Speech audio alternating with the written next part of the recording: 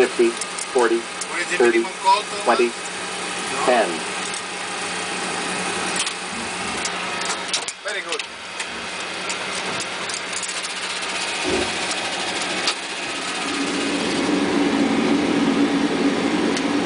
Try to stop the aircraft. Fast, please. 80 knots, Check. 60.